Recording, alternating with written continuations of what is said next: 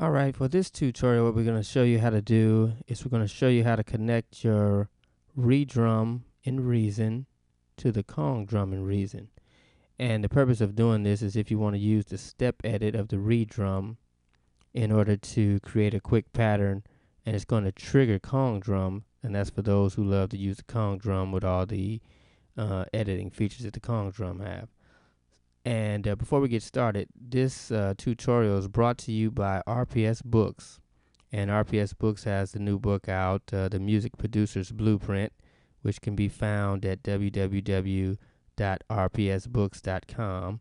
And that's for all you producers who want to advance your production skills. You can go over and get that book. And uh, once again, that's www.rpsbooks.com.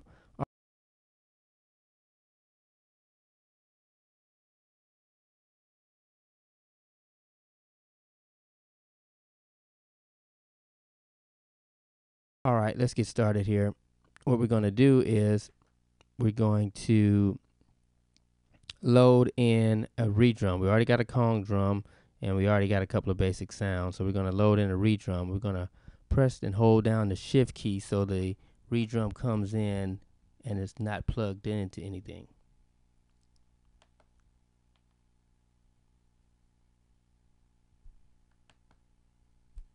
Okay, now we have a ReDrum that just came in loaded okay with nothing in it.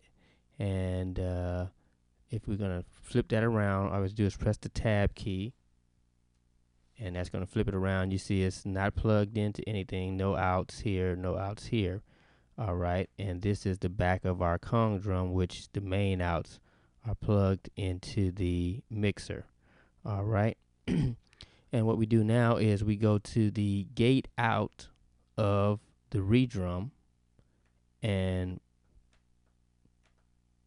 we left click on that and drag that over to the gate in of the Kong drum.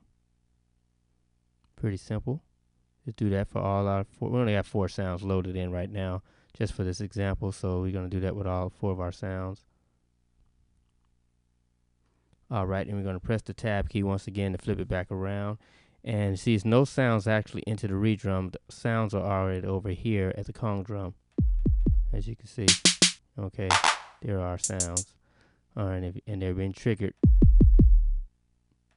now by the ReDrum. All right, very, very simple. All right, and now let's just program a simple beat just to uh, show the example what we're trying to do here. All right, we'll just start this running and we'll just program a simple beat.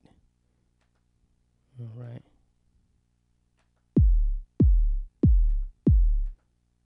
Okay, simple beat. All right, that takes care of our kick drum. Now let's do something for the for the snare. All right. All right, let's do something for the clap. All right, now let's do a little something for the hi-hat.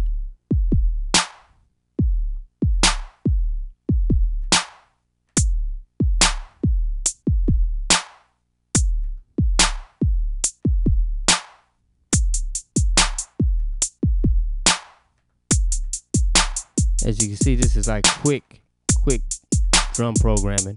See, that's what you use the step edit for. And now it's being, it's controlling the Kong drum. Got a simple, simple beat. We can do all our editing parameters, everything that the Kong drum provides. But we program the beat real quick with the step edit. And that concludes our tutorial for today. Hope you enjoyed that tutorial. And once again, this is brought to you by RPS Books creators of the Music Producer's Blueprint, which can be bought over at www.rpsbooks.com.